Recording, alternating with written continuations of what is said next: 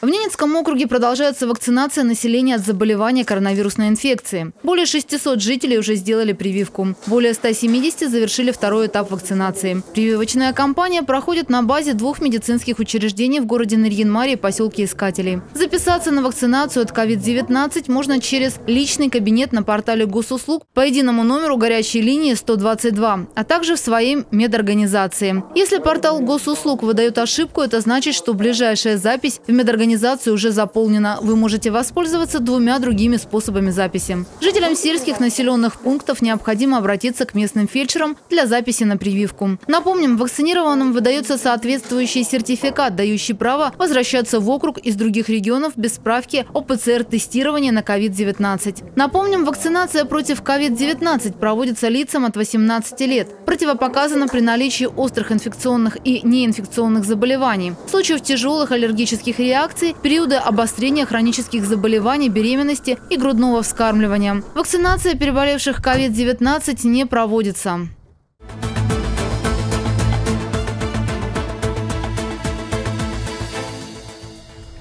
Жители Ненецкого автономного округа, прибывшие с территории других регионов, могут пройти быстрое экспресс-тестирование на коронавирус по доступной цене. Запись на тестирование открыта с 1 февраля в двух медицинских организациях – взрослой поликлинике Ненецкой окружной больницы и Центральной районной поликлиники Заполярного района. Как сообщалось ранее, в Ненецкий автономный округ поступили экспресс-тесты на выявление новой коронавирусной инфекции. На тестирование установлена минимальная цена – 1585 рублей. Отрицательный тест – экспресс-тестирование Тестирование позволяет снять режим двухнедельной самоизоляции для прибывших в округ. Готовность теста не более 30 минут. Записаться на тестирование можно в будние дни во взрослой поликлинике Ненецкой окружной больницы с 9 до 12 часов по телефону 406-82, а также в Центральной районной поликлинике Заполярного района с 9 до 16 часов по телефону 8 911 682 26 363. Экспресс-тестирование проводится во второй половине дня. Это сделано для того, чтобы развести потоки пациентов.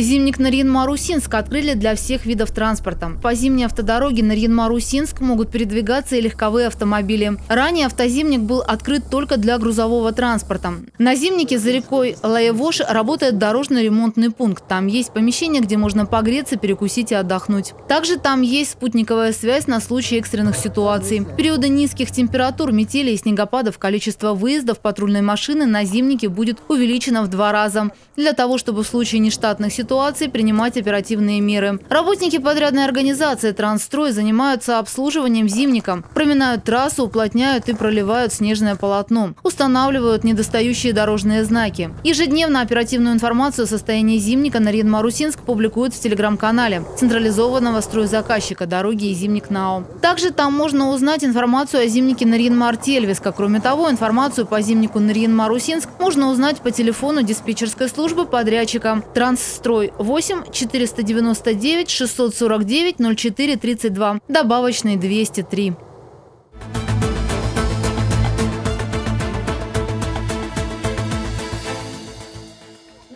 Территориальное общественное самоуправление Наринмара могут подать заявки на конкурс проектов. Заявки принимаются по 2 марта включительно, сообщает городская администрация. Конкурс грантов для территориальных общественных самоуправлений проводится для того, чтобы инициативные горожане могли реализовывать социальные проекты. Конкурс пройдет 1 апреля 2021 года. Для участия в конкурсе необходимо предоставить ряд документов. Заявки принимаются по адресу. Город Нарьинмар, улица Ленина, дом 12, кабинет номер 5. Консультацию по всем вопросам можно получить по телефону 8 818 53 4 21 56. Подробно с порядком проведения конкурса можно также ознакомиться на сайте городской администрации.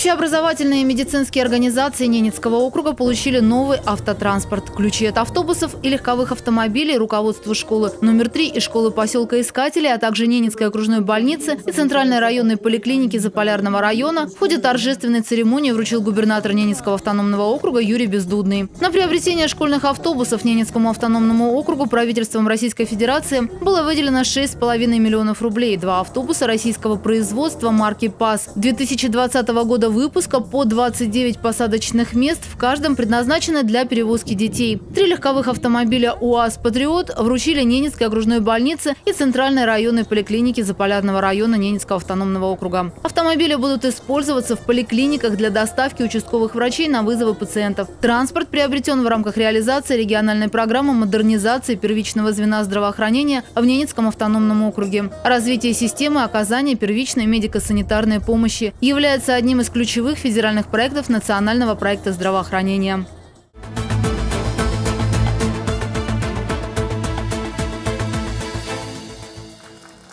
В Ненецком автономном округе назвали имена победителей пятого регионального чемпионата «Молодые профессионалы» World Skills Russia. Торжественная церемония закрытия чемпионата состоялась в Наринмаре в концертном зале ДК «Арктика» с соблюдением санитарно-эпидемиологических требований. За время проведения чемпионата с 25 по 29 января в нем приняли участие 85 студентов и школьников, более 70 волонтеров и 95 экспертов, трое из которых были приглашены из других регионов России. Состязания проходили на базе трех образовательных учреждений округа. В Ненецком аграрно-экономическом техникуме имени Волкова студенты состязались в компетенции «Поварское дело». А лучшей в ней стала Алина Бабяк. В компетенции ветеринария первое место заняла Светлана Шиц. Компетенции лабораторно-химический анализ сразу две студентки Анастасия Чупрова и Анастасия Ефимкина. Победителем в компетенции «Социальная работа» стала Алина Суслова. Лучшие результаты в компетенции предпринимательства получила команда Виктории Кузьминой и Екатерины Нагатысы. Среди юниоров лучшими стали Зоя Ладыгина и Владислав Тюлюбаев, учащиеся школы номер 4. На базе Наринмарско-социального гуманитарного колледжа имени Ваучейского прошли состязания по компетенциям дошкольное воспитание и преподавание в младших классах. Победителями в них стали Юлия Жаркова и Анастасия Ермолина. Наилучший результат в компетенции физическая культура, спорт и фитнес среди юниоров показала Надежда Гвоздева, ученица школы поселка Искателей. Всем призерам и победителям вручены дипломы, медали и денежные сертификаты. Мероприятия чемпионатного движения WorldSkills включены в федеральный проект «Молодые профессионалы. Повышение конкурентоспособности профессионального образования национального проекта образования».